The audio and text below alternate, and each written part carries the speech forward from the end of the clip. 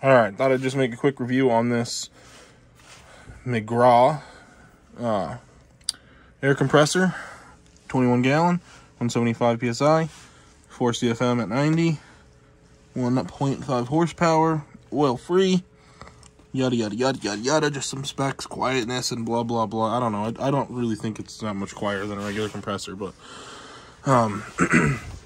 so this thing's got a air filter right here that uh, you're supposed to check periodically or avoids the warranty. I've checked it once, it's clean. Um, this compressor was, I don't know, I think it was like 200 and something. Um, used that good old 20% off coupon for it. It, uh, you know, you can change the thing just like any compressor. Turn the PSI down, turn the PSI up. Um, it, it does get pretty warm.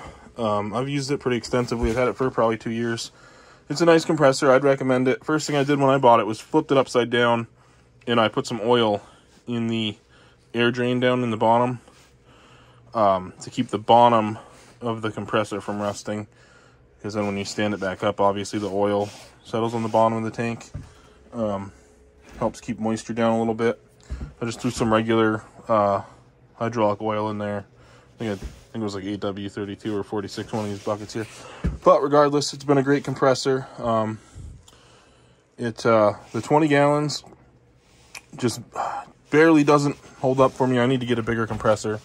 what I did was I ran a hose from here up along underneath this shelf here and uh, up there, up there, over, blah, da, da, da, da, da, da, ran it over and over to this hose reel. This hose reel is a pile of junk. This is a Kobalt hose reel from uh, from Lowe's. It it's junk. It leaks air up here. Um, well, not here at this joint, but inside where it spins at that at that coupler joint inside here. Um, uh, and then it never coils up correctly because this right here needs to be wider. It never lets the hose go to the outside edge. So it always winds up in the middle and then I've got to unwind it and then I've got to manually stand here and push the hose over, push the hose over, manually wind it up. It, uh, it's junk. Um, don't don't buy a Kobalt hose reel from Lowe's. So uh, uh, back to that compressor. I would definitely recommend it. Great compressor. Um, if you're doing fluid film with a fluid film gun, uh, especially a big trucks, it does not hold up the air volume that you need. I mean, it has enough volume until you get uh, probably 10 minutes in, and the compressor has to run constantly. And once the compressor starts get, getting down there with the air, it can't keep up with making the volume that it needs. Um, so it, it, it, does work, but it, if you stop and let the compressor regenerate for a few minutes, you don't have to let it fill all the way up, but I let it every every so often I'll stop and I'll just let it fucking fill itself up. Um, and then the gun sprays so much better. Uh, so I've, I've got to get myself a bigger compressor. I don't know, maybe a 30 galloner would work. What do you guys think? 30 gallon compressor, 1.5 horsepower, 2 horsepower. I don't, you know, it just, I don't have enough um, air volume. Um, this thing, like I said, it'll run nonstop. Takes me for a full size crew cab long bed pickup truck.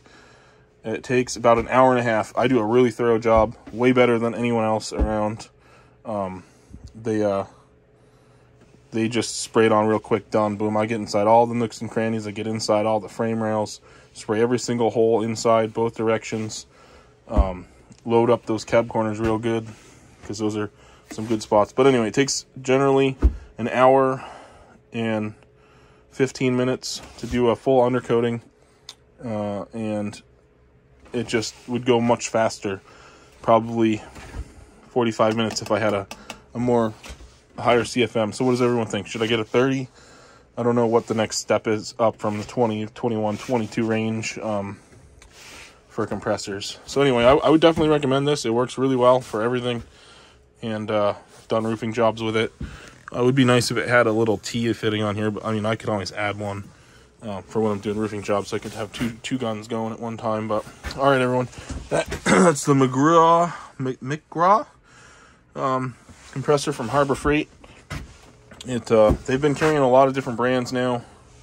that's not just Pittsburgh. And actually, all of their Pittsburgh stuff now has a lifetime warranty, um, and they're even honoring older older stuff that was out before they said that everything was lifetime warranted. So that's pretty nice. Um, thanks for watching, everyone.